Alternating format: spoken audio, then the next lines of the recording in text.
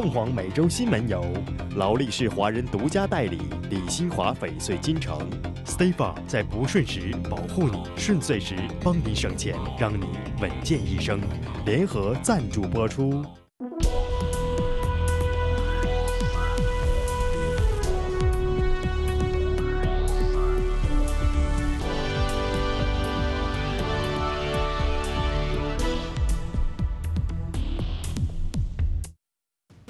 韩美完成萨德落地程序，将着手部署。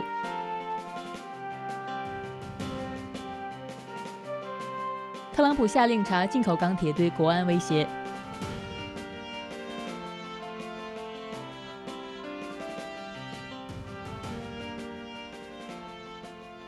晚上好，欢迎收看四月二十号的凤凰美洲新闻。头条新闻，让我们一起来关注。韩国外交部二十号表示，韩美双方已根据驻韩美军地位协定完成萨德落地所需的供地程序，驻韩美军获得部署萨德的权限，将正式着手部署。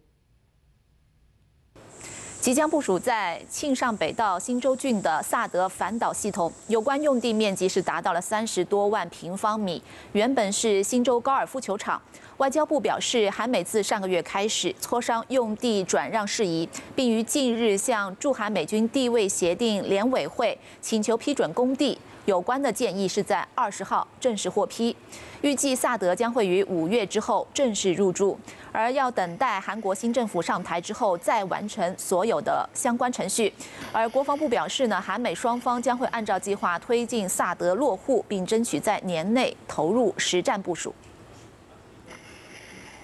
美国总统特朗普二十号签署备忘录，要求商务部立即调查钢铁进口是否对美国国家安全造成威胁，以进一步加大美国优先贸易政策的力度。特朗普在白宫签署行政命令，引用一项数十年前颁布、很少使用的法律来启动这次特别调查。有关的法律是允许总统以国家安全为由实施紧急贸易制裁措施。美国商务部长罗斯表示，虽然美国政府致力减少钢铁进口，但是钢铁进口的量持续增加，其中中国钢铁已经占了美国市场的百分之二十六。商务部将会在二百七十天内。提交调查的结果，罗斯指出，增加关税只会影响价格，并不能限制钢铁进口。日前，美国通用公司和南加州爱迪生公司宣布，计划安装世界上首个同时使用电池存储和燃气轮机混合的储能系统，并预计在二零一七年年初投运。二零一五年十月，美国加州洛杉矶郊区亚里索峡谷发生严重天然气储井泄漏事件。尽管泄漏已在二零一六年二月被控制住，整个设施却也无法作用，导致天然气供应减少。根据加州能源委员会预计，亚里索峡谷天然气泄漏事故造成的短缺，可能影响的燃气发电厂，特别是减少了用来紧急调度的尖峰发电资源，最终可能导致夏季最多有十四天的大停电。而此次基因能源和电池事业部正在研发和完善。的 LM 六千燃机混合储能系统，通过和 Wellhead Power Solutions 公司合作，将成功的解决这一加州能源危机。这是一个，这是一个发电设施啊，这个发电设施，就就是普通的发电站吧，它都是需要时间，就是说你，你比如说那个可持续能源一下子下降了以后，那你就就没有办法了，是吧？这里的那个蓄电池呢，就是及时的呃供电。LM 六千燃气轮机混合储能系统将在未来几个月内在 SCE 公司的两个电站上使用，从而应对加州电网上不断增加的可再生能源容量带来的电网波动问题。同时，此储能系统将提供比传统资源更低的成本和排放更小的温室气体，并提供电网调峰支持，同时还提供更高的热备用容量、高质量调节能力和无功电压支持。电池储能系统将在二零一六年年底完成安装和运行，而集成和升级的燃气轮机及控制系统，而集成和升级的燃气轮机及控制系统预计在二零一七年初投入运行。凤凰卫视实习记者穆小涵、黄一顺洛杉矶报道。休息一下，广告之后马上回来。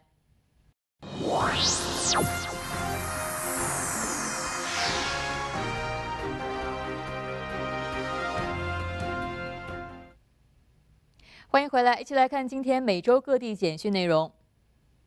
美国十六个州和华盛顿特区总检察长十九日联合向美国第四上诉法院提出案情摘要，要求维持阻止实施总统特朗普新版旅行限制令的裁决。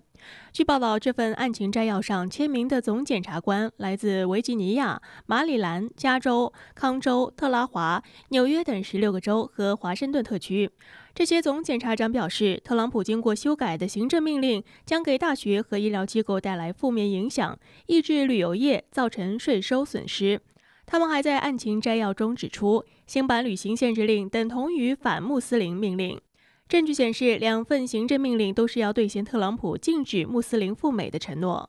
美国总统特朗普今年三月六日发布新行政命令，禁止苏丹、叙利亚、伊朗、利比亚、索马里和也门这六个国家的移民和旅行者进入美国。禁令为期九十天。行政令同时规定，难民被禁止入境美国一百二十天。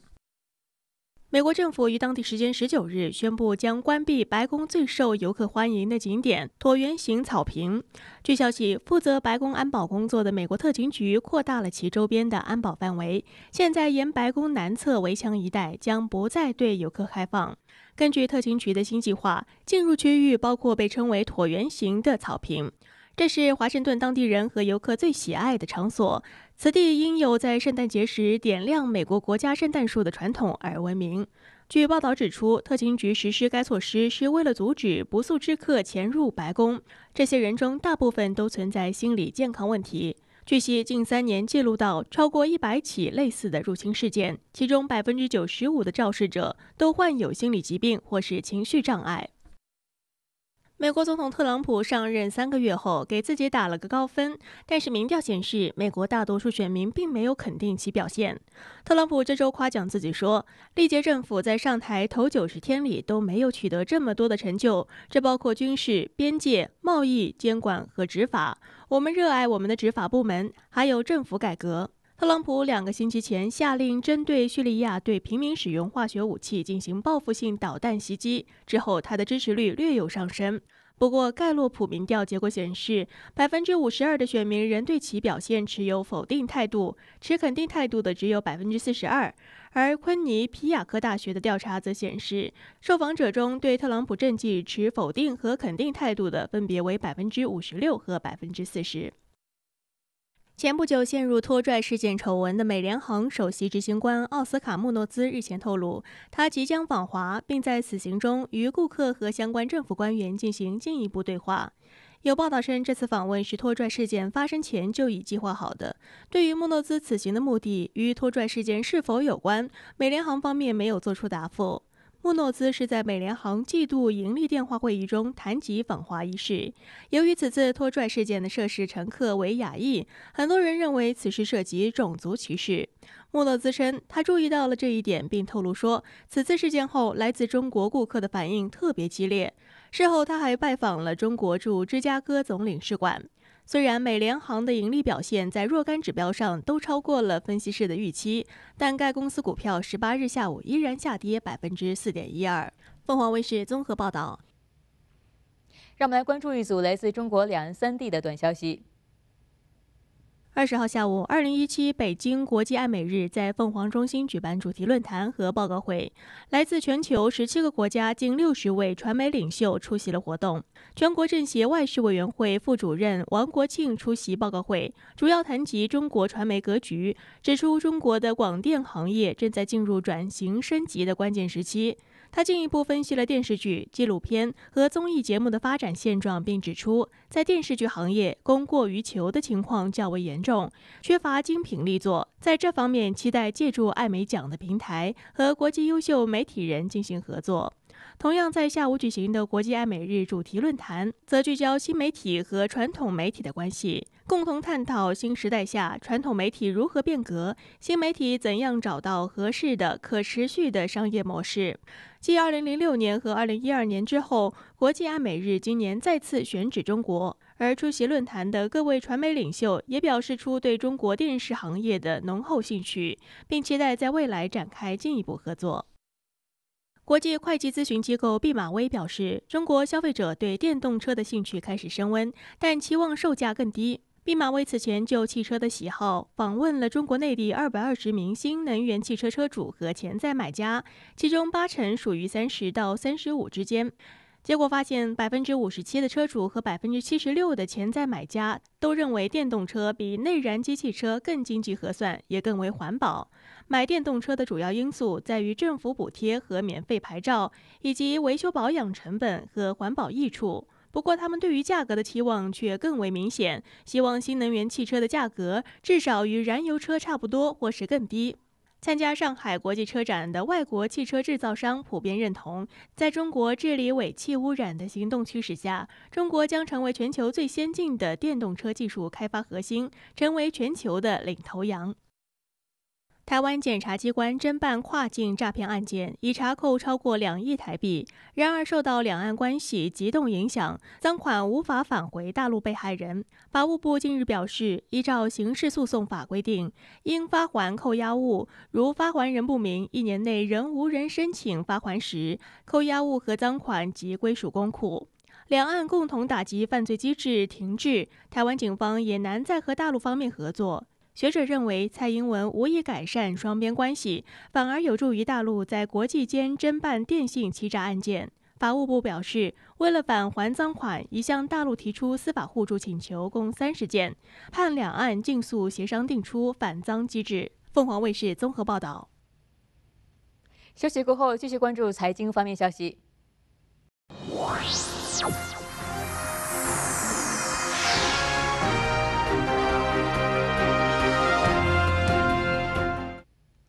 在财经方面，受到投资者憧憬美国即将公布税改方案，加上多家公司业绩理想的因素，美国三大指数周四全线上扬，纳斯达克指数再创收盘新高。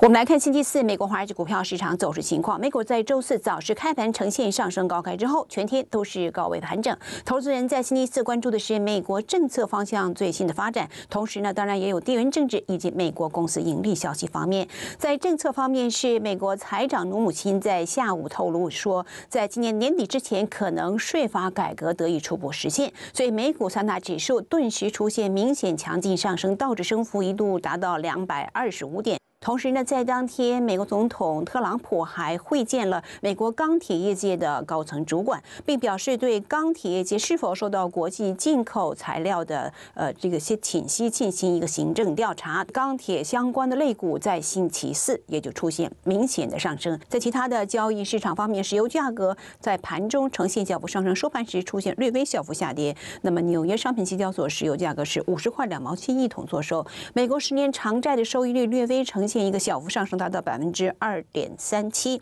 那么黄金价格在星期四呈现小幅震荡走跌，是一千两百八十三美元一盎司。总的来说，股市在星期四的走势还是乐观、审慎向上。投资人还是等待更多的这个经济层面的消息以及地缘政治层面的消息，那么才判断下一次投资方向以及投资组合如何调整。以上是星期四情况方位置旁者纽约报道。我们来关注全球财经指数。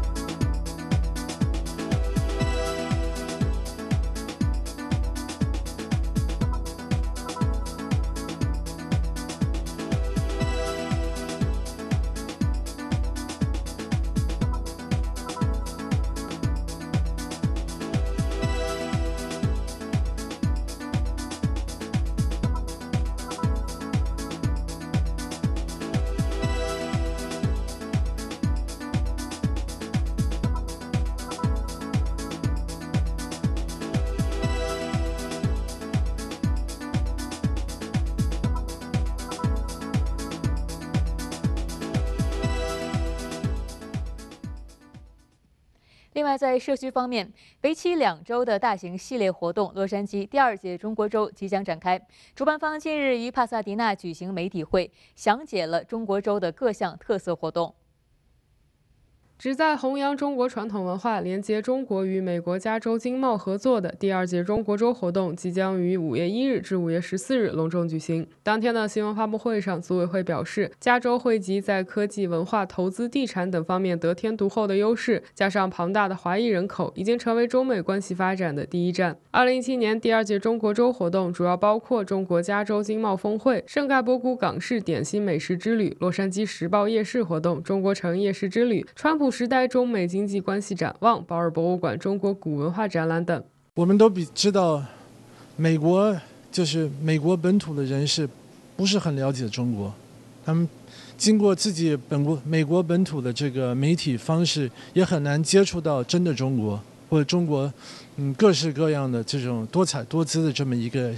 这个形态。我们今天做中国周这个活动。就是希望能够给广大的美国民众一个接入中、进入中国的一个机会，切入真正真实、真实和美好的中国这么一个一个机会。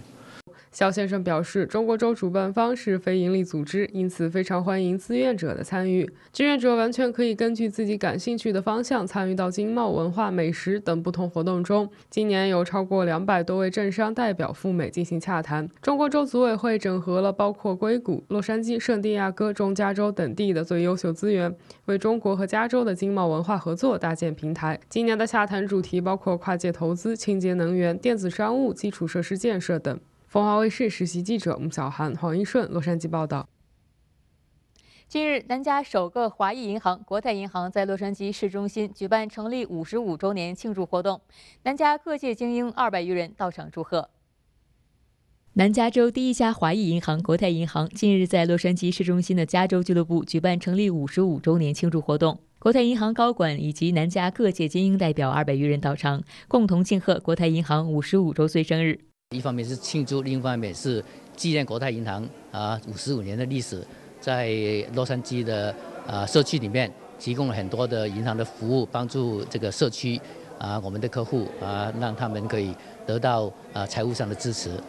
晚宴由一部讲述国泰银行发展历史的短片开场，随后国泰银行首席执行长兼总裁丁泰上台致辞，并与董事会执行主席当森正博士共同举杯，为现场准备的五十五周年纪念冰雕倒酒祝贺。他们的呃服务非常好，呃比较人性啊，那我们呃中国人也是会觉得比较比较亲切，因为我认为国泰啊就是在。呃，这么多个波折中，一直就是，呃，是一个非常稳定的银行。那这也是让我们就是呃非常有信心。自一九六二年成立以来，国泰银行一直致力于提供专业周到的金融服务。在与华埠社区共同成长的五十五年里，银行从最开始只有七名员工的小公司，发展成今天总资产达一百四十五亿美元的跨国上市公司，并连续几年被福布斯评为美国最佳银行之一。马雪桥、黄一顺，洛杉矶报道。下面一起来关注未来二十四小时全球各地的天气情况。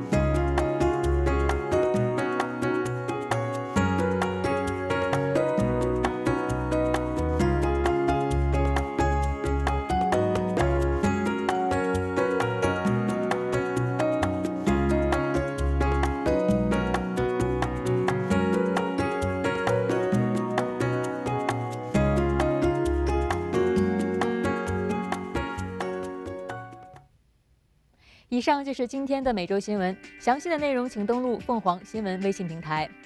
感谢收看，再会。